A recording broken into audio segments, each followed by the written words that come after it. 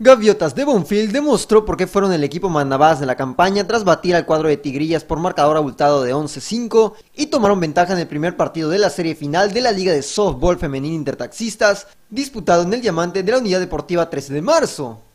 Ambos equipos comenzaron con un alto porcentaje de bateo en las primeras entradas, mostrando ser las merecedoras de estar en la gran final, pero el poder ofensivo constante de las bonfileñas terminó por imponer condiciones.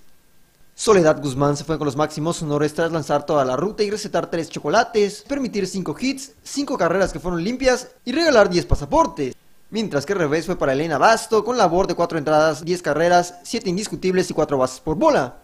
Las mejores macaneras por parte de las aves fueron Maritza Castillo, quien conectó cuadrangular de 3 carreras en la segunda tanda, y la misma pitcher Soledad Guzmán con doblete en el mismo rollo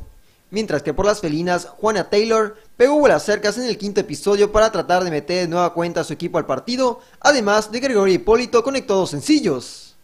Con este resultado, las gaviotas de Bonfield se encuentran a un solo juego de levantarse como bicampeonas dentro del certamen, mientras que las tigrillas tratarán de empatar la serie el próximo jueves a las 7 de la noche en el campo de los Chafiretes. Informó para Notivisión Deportes Joshua Buenfield.